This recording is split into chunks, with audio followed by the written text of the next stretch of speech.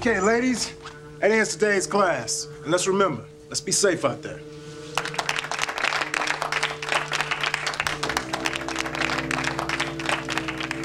Great class. Thanks, man. yeah, yeah, I was watching.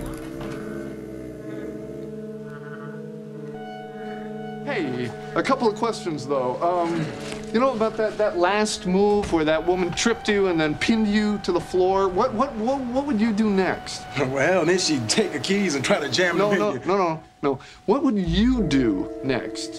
Who, me, the attacker? Yes, that's right. I tried attacking two women, did not work. It's okay. I mean, they're, they're my friends. In fact, I, I, I was married to one of them. Attacked your ex-wife? Oh, no, no, no. I tried. Maybe we could attack them together.